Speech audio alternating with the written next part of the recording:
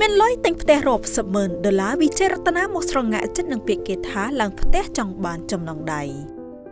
ទឹកស៊ុបសាច់មាន់ម៉ាក់ខ្នត្រឹមតែមួយស្លាបព្រាបាយប្រើបានគ្រប់មុខម្ហូបទឹកស៊ុបសាច់មាន់ម៉ាក់ខ្ន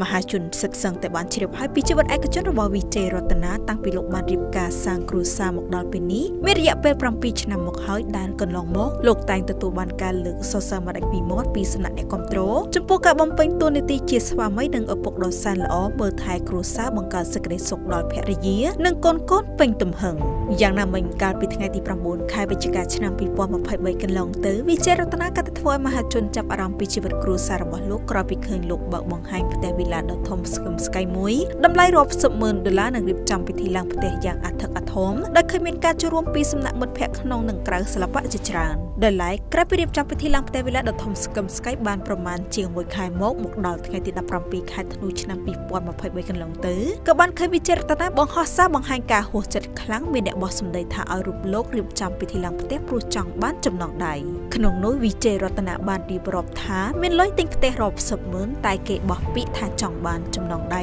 ឆយម៉ៃហើយហួសចិត្តចឹងបានថាមានកម្មវិធីកុំសើផ្ដាល់កិត្តិយសជូនគេពេកព្រោះគេមិនដែលផ្ដាល់កិត្តិយសជូនយើងទេស្អែកចេញវីដេអូមួយឲ្យផ្អើលទឹកស៊ុបសាច់មាន់ម៉ាក់ខ្នត្រឹមតែមួយស្លាបព្រាបាយប្រើបានគ្រប់មុខម្ហូបទឹកស៊ុបសាច់មាន់ម៉ាក់ខ្ន